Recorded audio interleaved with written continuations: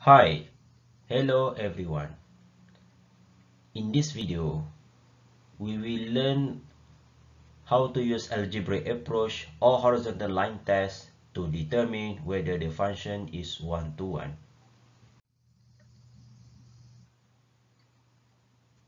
Looking at these graphs, on the left graph, as you can see, The line y equals to k intersect the graph at one point only. Therefore, in this case, f is 1 to 1.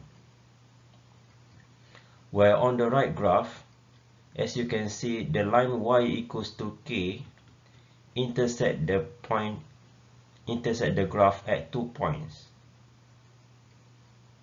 So therefore, in this case, f is not 1 to 1. In the other hand, we can see that we can say that in order to be one-to-one, -one, the intersection must be at one point only. If more than one, we consider that it is not one-to-one. -one. The concept of this one-to-one one-to-one -one is very useful to determine whether the given function has an inverse or not. We will, we will cover this concept of inverse in subtopic 5.3. So now we try to solve this question using horizontal line test to determine whether the function is one-to-one. -one. Also, we'll try to use an algebraic approach.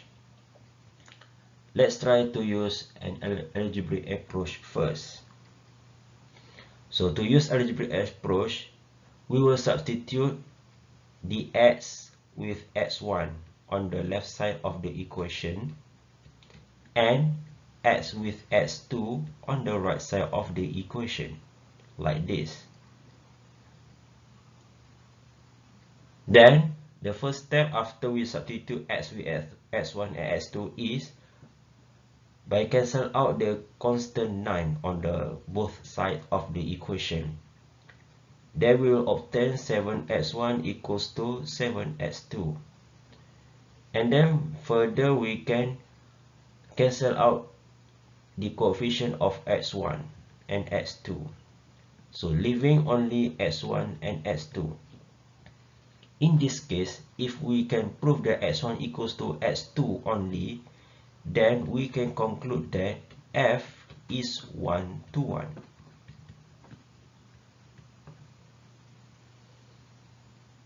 Then we'll try to use horizontal line test like the one in the previous slide. So in order to do this, we need to sketch the graph of the function first. So 7x plus 9 is a linear function we know that the positive gradient 7 and intercept at 9 so more or less the graph will be like this. So this is our fx and then sketch line y equals to k. Then circle out the intersection at one point only. So write down here line y equals to k intersect at one point only.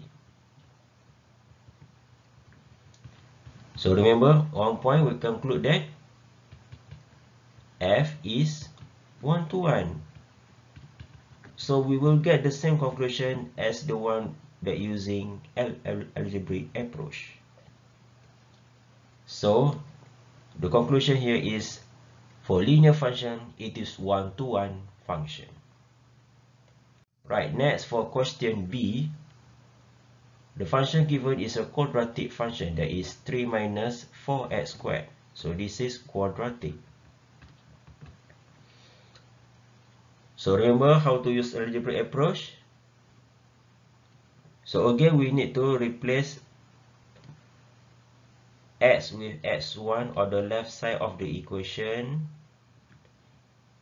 and x with x2 on the right side of the equation. And then we will cancel out the constant 3 here. So leaving only the term of uh, x squared which is negative 4 x1 squared here and negative 4 x2 squared here. Then we can cancel out the coefficient. So leaving only x1 squared equals to x2 squared. So how we cancel out the square? So in order to do this we will bring the square to the right side so what happen to the right side of the equation so will become square root of x2 squared. So remember what happened to square root of square? Square root square. So it will become plus minus x2. Okay. It can be positive x2 or negative x2. So here since we have two values so therefore f is not one to one. Because in order to be one to one function x has to be one value only. There is x2 only. Not eh? f is not one to one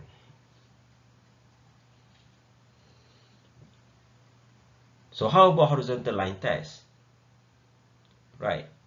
So remember in order to use horizontal line test, we need to sketch the graph. So here is quadratic and we have negative 3 right here. Negative 4 right here. So negative 4 means the gradient is negative. Sorry, uh, the curve will be open down. Okay or some say set in the secondary school right? And then we don't have a uh, term of x here right? Only constant 3 so it means that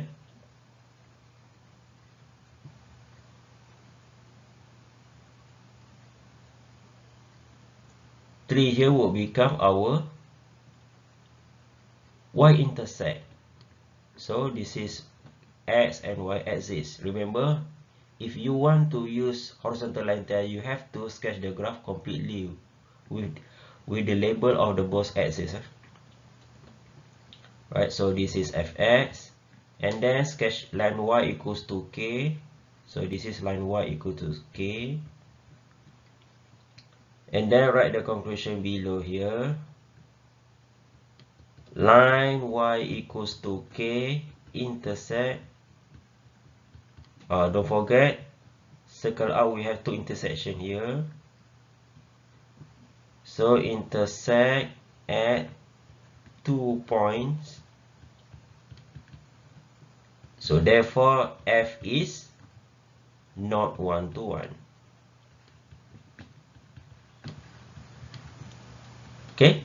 So remember if you have two intersection or two values in algebraic approach the function is not one-to-one. -one. Alright,